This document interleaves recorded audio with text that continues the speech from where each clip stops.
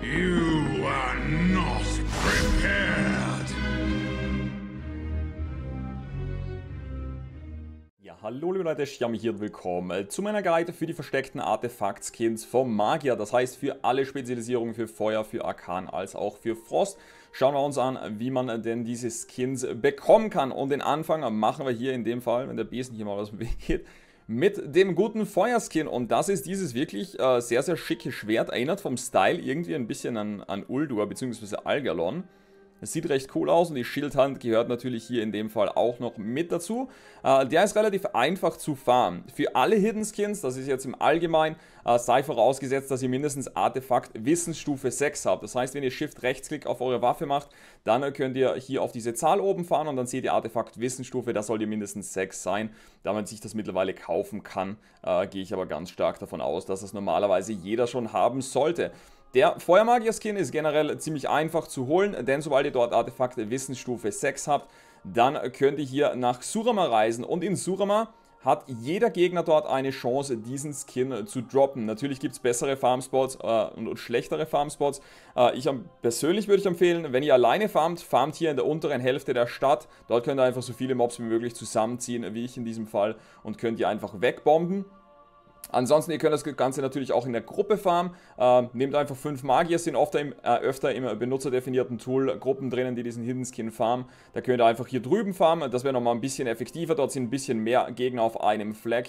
Da könnt ihr aber mit einer größeren Gruppe natürlich dementsprechend einfach alles zusammenziehen. Jedes Mal, wenn ihr einen Gegner tötet und der Skin ist nicht drin, wird die Chance erhöht seit Patch 7.2.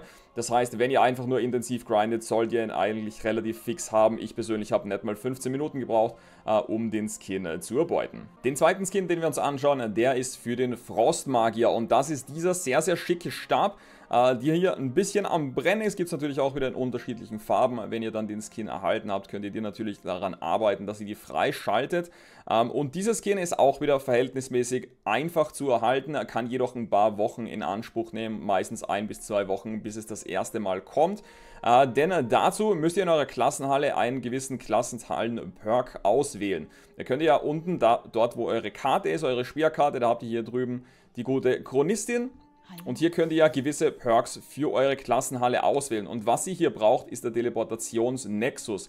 Das heißt, ihr müsst das hier erlernt haben. Solltet ihr das hier gelernt haben, könnt ihr das natürlich changen gegen 2000 Ordensressourcen und 3 Tage Wartezeit. Dann habt ihr nämlich in Zukunft hier äh, diese Portale im unteren Bereich dann habt ihr täglich einmal die Chance. Jedes Mal, wenn ihr in eure Klassenhalle geht oder wenn ihr gerade einloggt mit eurem Magier, dann kann in eurem Chat eine, ein, ein Emote auftauchen und da steht, ihr hört ein Knistern aus dem Portalraum. Wenn ihr dieses Emote im Chat seht, einfach jedes Mal, wenn ihr einloggt, schaut ihr einmal, das kann nur einmal täglich brocken, das heißt, ihr braucht euch nicht tausendmal in die Klassenhalle rein teleportieren oder sonst was. Äh, jedes Mal, wenn ihr euch einloggt oder einmal am Tag in die Klassenhalle vorbeischaut, schaut, ob im Chat dieses Emote kommt, das heißt ein Knistern ähm, erscheint in den Port in Portalräumen oder so irgendwie in der Art, steht dort, ist relativ übersichtlich zu sehen. Äh, ist einfach so in einem orangen Text geschrieben. Wenn das passiert, geht einfach in den Portalraum, das heißt hier runter und klickt irgendeines dieser Portale an. Ist komplett egal, welches Portal ihr dann anklickt. Wenn dieses Emote da ist, dann werdet ihr in den Frostfeuergrad teleportiert, das könnt ihr hier sehen. Und im Frostfeuergrad seht ihr einfach auf dieser Anhöhe liegt dann dieses Item, das könnt ihr einfach plündern, könnt es anschließend einfach benutzen und dann erhaltet ihr auch schon den Hidden Skin für den Frostmagier. Und dann kommen wir zum dritten und letzten Hidden Skin für den Magier und das ist für die Arkan-Spezialisierung. Äh, und hier haben wir einen sehr, sehr schicken Stab und das Event dazu ist auch wirklich cool gemacht, kann allerdings auch wieder ein Zeitchen in Anspruch nehmen, denn auch hier müsst ihr wieder auf ein zufälliges Event warten. Aber man muss natürlich vorher erstmal andere Sachen erledigen und das schauen wir uns an, was das genau ist. Als erstes müsst ihr euch nach Azuna begeben und da genauer in die Nähe vom Verteidigungsposten der Elitari, wobei die gibt es in mehreren Orten, nur hier in der Nähe wäre einer. Und da müsst ihr den Fels schwingen Hypogryphen schieben und dann seht ihr auch schon an diese Meldung vom instabilen Stab. Das heißt, wenn ihr den geschiebt habt, dann hat das schon, habt das schon richtig gemacht. Dann geht es weiter nach Valshara. Dort suchen wir einen wilden Traumläufer. Auch diese sind wieder auf der Karte gezeigt natürlich. Und auch den schieben wir wieder. Auch dort meldet sich das instabile Schaf. Das heißt, wir müssen hier erstmal ein paar Mobs schieben, um das Ganze auszulösen. Dann haben wir hier auf dem Hochberg selbst, das heißt auf dem Berg hier oben, haben wir diese ähm, Höhengipfel-Ziegen. Die können wir natürlich auch wieder schieben. Und auch hier sehen wir wieder instabiles Schaf schiebt eine Meldung. Das heißt, auch das hat sozusagen dafür gezählt. Dann haben wir noch das nächste, beziehungsweise das vorletzte, das ist in Sturmheim. Das sind hier diese äh, Runenhorn-Kälber der Ebenen. Auch das schiebt man natürlich. Auch hier gibt es wieder eine Meldung, dass ihr das geschiebt habt. Macht das am besten alles nochmal extra ab, falls ihr schon mal irgendwo angefangen habt. Nicht, dass ihr irgendwas vergesst in irgendeiner Art und Weise. Und dann natürlich noch beim Purpur-Dickicht in Surama brauchen wir noch eine Herzholz-Kirsch... Ne, wie heißt sie? Herzholz-Hirschkuh, nicht Kirschkuh eine Hirschkuh natürlich. Die müssen wir auch noch schieben. Dann haben wir ein tägliches Event. Und zwar jedes Mal, wenn wir uns in unsere Klassenhalle begeben, kann ein instabiles Schaf spawnen. Das heißt, wieder einmal am Tag einloggen, einfach schauen. Da kommt eine Meldung im Chat und zwar von dem äh, Code der Hirte Matt Korf.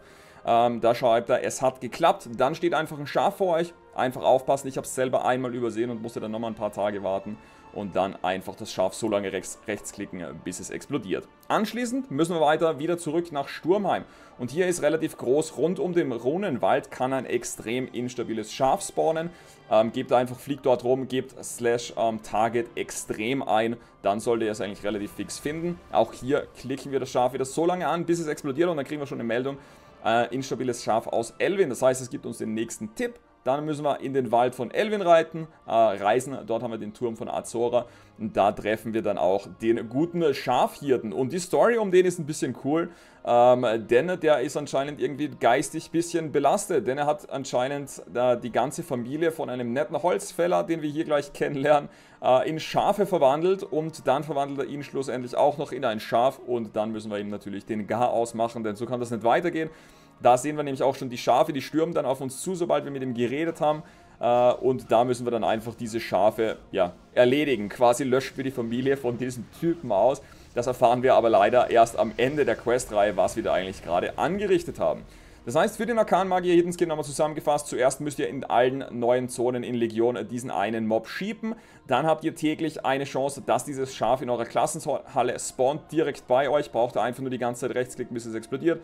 Dann wieder Sturmheim, dort schiebt er, äh, dort sucht er das nächste Schaf, rechtsklickt das, zurück in den Wald von Elvin oder zum Turm von Azora. Und dort kriegt ihr dann äh, dieses nette Event noch. Und da kriegt ihr am Ende dann äh, den Hidden Skin für den Arkan-Magier. Ein wirklich sehr, sehr cool gemachtes Event. Ich habe es auf jeden Fall gefeiert, vor allem die Story zum Ende hin war irgendwie mega, ähm, hat mich mega verwirrt auf einmal, weil man halt dann ganz am Ende erst erfährt, dass man quasi die ganze Zeit den, den, die Familie von diesem Typen ausgelöscht hat äh, weil der Typ halt alle in Schafe verwandelt hat. Da kommt er auch schon. Ähm, ja, das war's mit dem versteckten Artefakt-Skins für den Magier. Ich hoffe natürlich, dass es euch gefallen hat. Äh, lasst euch auf keinen Fall auch in Schaf verwandeln von den guten Typen. Wenn euch das Video geholfen hat, Däumchen nach oben. Wenn ihr noch Fragen habt, wie immer ab damit unten in die Kommentare. Vergesst auch nicht, mit meinen Social Media Networks zu folgen.